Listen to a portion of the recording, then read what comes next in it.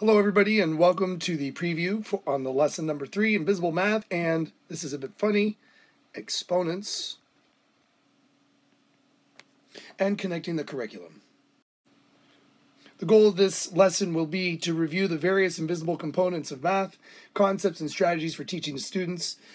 You will also review the rules of exponents and how to apply them in a math context. This is one of the most common areas where students struggle in their learning. It's why we've put it at the beginning of this course. And I find that regardless of the age or level of the participants, exponent errors happen regularly, and it's important to cover them.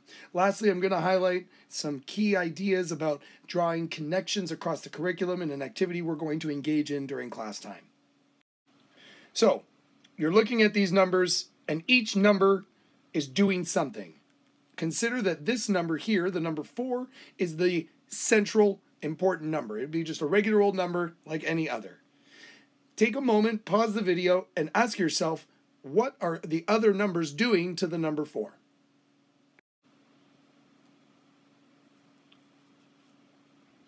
All right. Hopefully you've taken a pause to figure out what each of these numbers are doing. But let's go in and examine. In this case, and I'm going to zoom in here. There we go. Oops. There we go.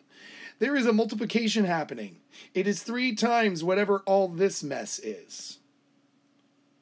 This number right here, we're going to come back to. It is one of the weird ones that people aren't necessarily used to seeing unless they are coming from a background in math. This one right here is an exponent. It represents repeated multiplication. We'll talk about that in a little bit. And lastly, we have our elusive number two here. This is a subscript. And if you ever see numbers in this position, it means a subscript, or you can think of it as a name for the, num- for the number or letter. There are other positions that can also be used, but we're not going to focus on those right now. For example, I could have a variable represented with numbers down here, and the number placement actually changes the meaning of the number. But we're not going to focus on that right now. We'll focus on the main ones that people use. The subscript, even in that case, is a little bit um, elusive and, and not used as often. So don't stress too much. Your focus should be on the three and the five here, or rather their placement beside and above. Think about all of the symbols in math that aren't there, but that are there we don't draw them in. So let's look. Implied brackets. When we have a fraction 3 plus 5 over 7 minus 3, these implied brackets here play a significant role when we're working with numbers. I see this in students when I'm working with them, where they, you might say, I have 3 over 7 plus x plus 2 over 7. And then they think, well, I can just take this x and move it out. You cannot do that. That is bad. Because these brackets are there.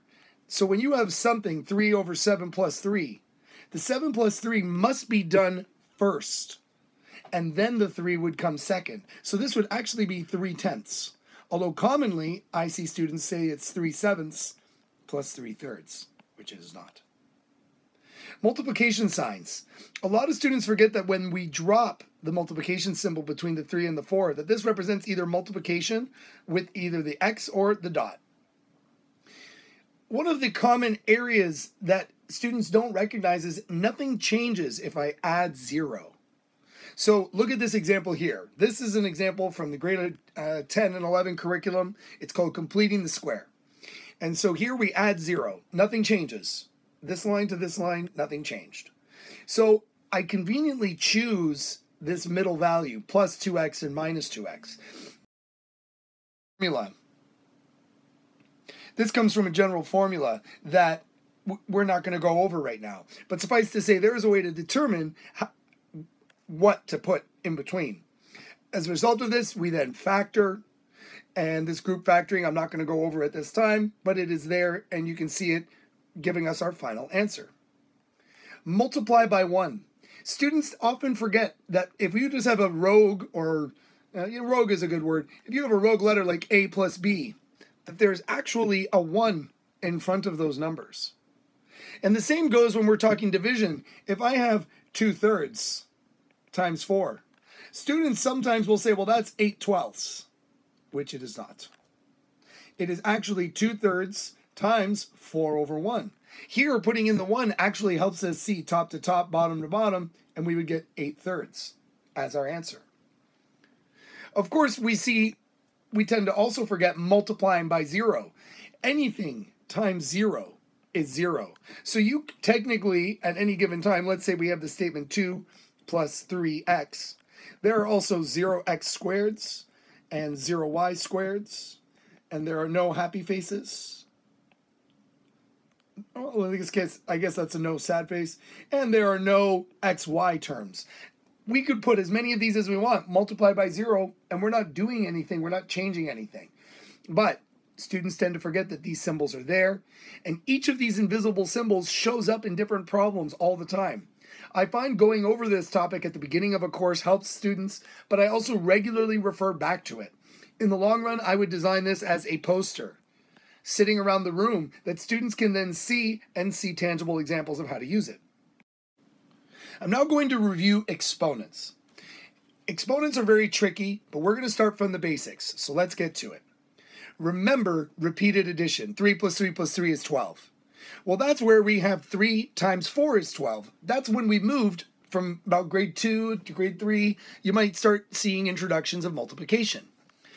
I like to explain this as what you add and how many times you add it. Now, if you're familiar with math, you know that 3 times 4 is the same as 4 times 3. This is not always true, but in the regular math most people are used to, it is. Well, we see that 4 times 3 would mean 4 plus 4 plus 4, which makes 12. And so then we see we're adding 4 three times. We're adding 4 three times. So consider it with repeated multiplication 2 times 2 times 2 we needed, or not we, but mathematicians said if you're repeating multiplication, there might be patterns in that. And it turns out there are, and there are rules that come with that. And that's where all of the exponent rules come from. It is just repeated multiplication. A lot of students, for example, might remember that 2 squared is 2 times 2. But as soon as they see 2 cubed, they don't know what to do. So here's what I do. I start with 2 times 2 times 2. It's an it's a the easiest exponent to work with and students will be able to do that kind of math mentally in their head. 2 cubed, so the bottom number in this case represents what you multiply, and the top number indicates how many times. Unlike multiplication, the order does matter. Notice here, when I reverse the numbers, I get something totally different. Why do we do that? Here you see 2 to the power of 10 which gives us a really big number, 1024.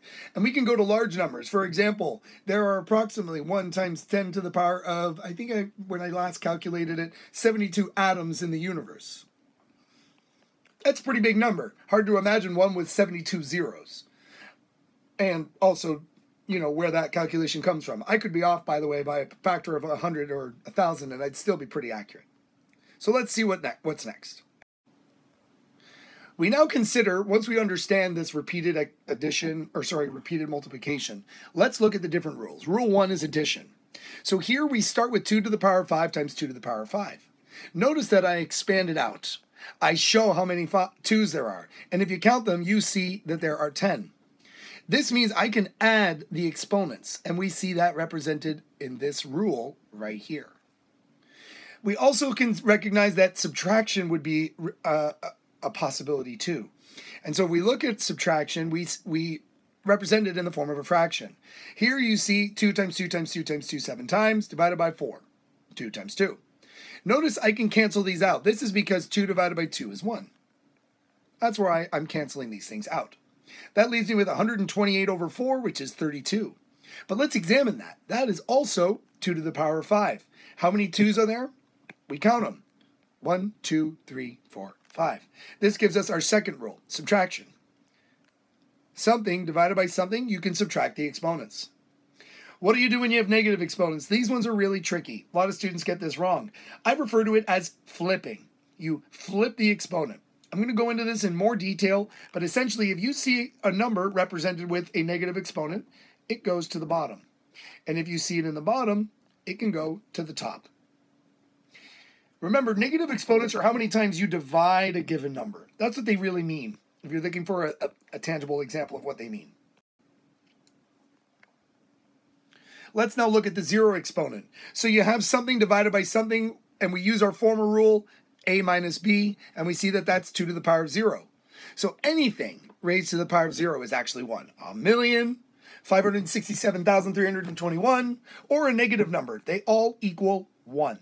The, there's a lot of mystery behind this. It took a long time for mathematicians to agree and come to the understanding that this is what an exponent to the power of 0 means. But just remember this as a general rule. It is very important, and a lot of students tend to forget. It also is one of those hidden math areas. So if I see the number 2, this is technically 2 times 1, or 2 times 1 to the power of 0. Or I could think of it as 2 times a million to the power of 0, which is just 2 times 1. So sometimes mathematicians will add this in, this piece, and massage it and split it out. I'm not going to go into the details, but that is a math trick that is often used. Next, we look at brackets. So what happens if you have a complex thing and there's brackets? You need to distribute the exponent to each part. I can't emphasize that enough. So let's look at why. It's because you take the thing and you repeatedly multiply it. 2 times 2 times 2 and 3 times 3 times 3 in the denominator, which gives us 2 thirds cubed over 3 cubed. Let's look at this example. The 2 expands in. So 2 to the times negative 4. Sorry, not 2 times negative 4, negative 4 to the power of 2. You also see 2 to the power of 2 and 5 to the power of 2. They all matter in the case of this question.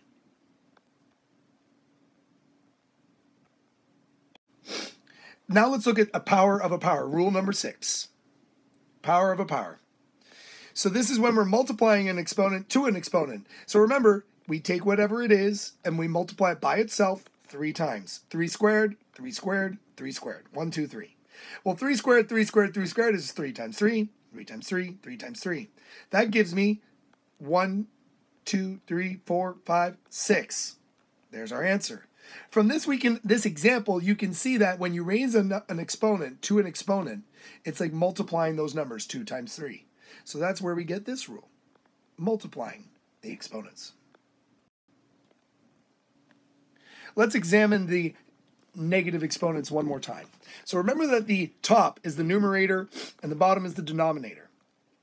What if we divide by a fraction? Here it is, 1 divided by a half. In other words, how many halves fit inside 1? Well, two of them do. 1 divided by a half. Use your calculator really quick if you need a verification. When we divide by a fraction, that fraction gets flipped and changed to multiplication. So here we see 1 divided by a half is the same as 1 times 2 over 1. It is flipped here. The negative exponent flips the base. It takes the whole thing. So notice that this is actually 2 over 1 to the power of negative 1. So everything flips. Similarly, if we look at 1 half to the power of negative 1, it flips, becomes 2 over 1. So let's look at a more deep example. 2 to the negative 2 over 3 to the negative 2. Here we take the 2 and we flip it. It becomes 1 half squared. Then we take the 3 and we flip it. And it becomes 3 over 1 squared. Another way of looking at it would be here. We keep the 2 to the negative 2 on the outside. And we just flip. And, and, and we, we, we maintain them, but I've separated them. You see how I've separated them? This one I just put on the left and the other one on the right. Now I flip their locations. The 2 goes to the denominator, the 3 flips up to the numerator. Two different ways of approaching this problem. You may find ex negative exponents difficult, but in general, if I have 1 over 4 to the power of minus 1, that's the same as 4 over 1 to the power of 1. Notice that the sign changes from negative to positive. One more example. I might have 2 over 7 to the power of 3, negative 3. Well, that would be 7 over 2 to the power of 3. Notice I flip the numbers and the exponent becomes positive. You may ask yourself, and by the way, if you're not interested in extending this, this is not fully necessary for the grade 9 curriculum, but it is a common topic, one that students struggle with across subjects, so I'm going to cover it anyway. If we look at variables, we can treat them the same as numbers and the rules don't change. If you look back to before, I was using numbers. I'm going to use the same rules, but with letters. So here we look at the product rule, or adding the exponents. x to the a times x to the b is x to the a plus b. Here we see that I can divide them. x to the a over x to the b is x to the a minus b. I can multiply them. Here it would be negative 3 times 2, which is negative 6. And we see that x to the a raised to the power of b is just x to the a times x to the b. Or sorry, a times b. There we go. Remember the flip rule. Just because you have a letter doesn't change anything. The behavior of the, of the exponent is the same. x to the minus 3 would be the same as 1 over x cubed. The zero rule still applies, even for variables. It is a very common calculus question to examine this idea in a lot more detail.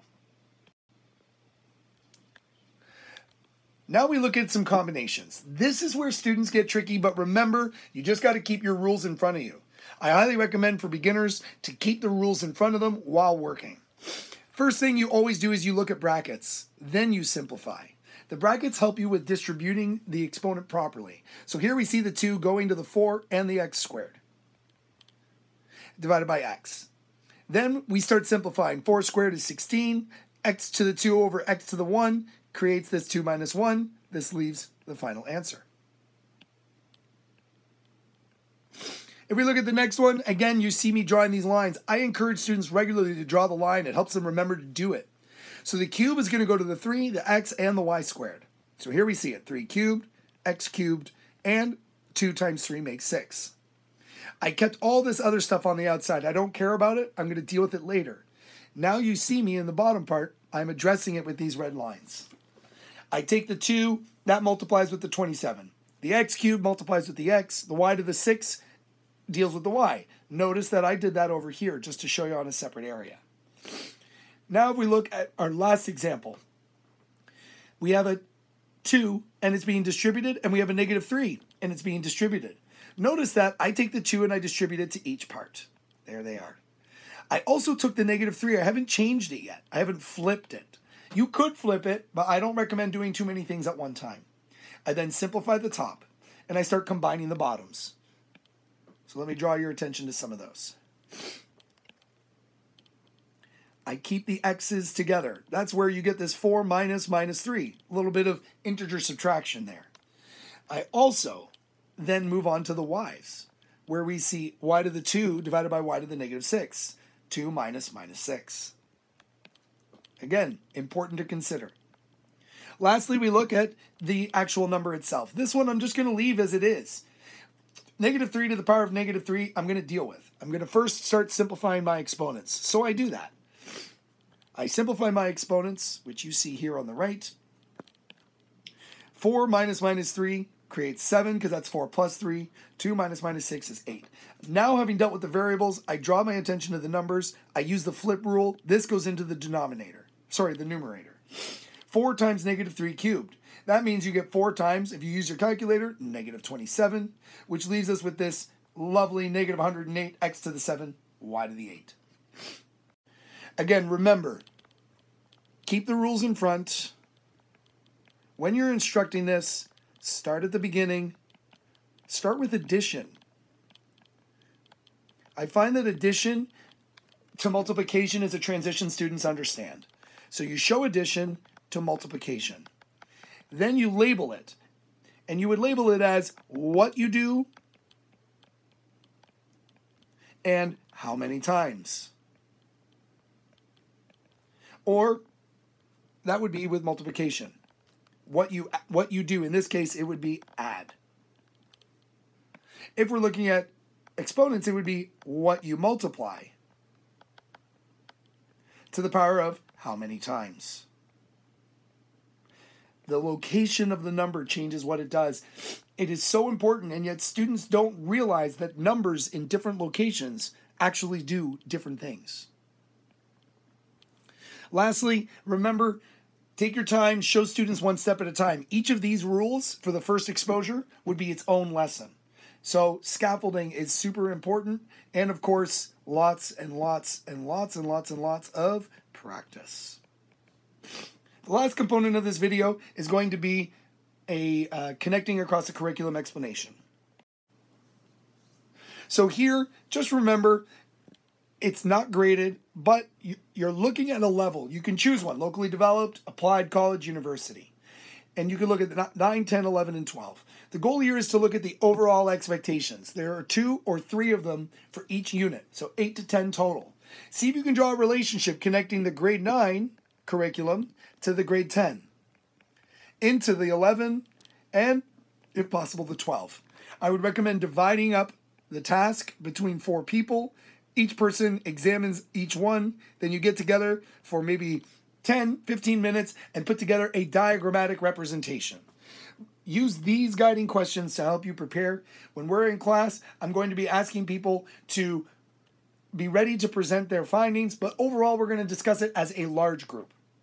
I hope this video has been helpful to you. If you have any questions, please send me an email, and I look forward to seeing you next class.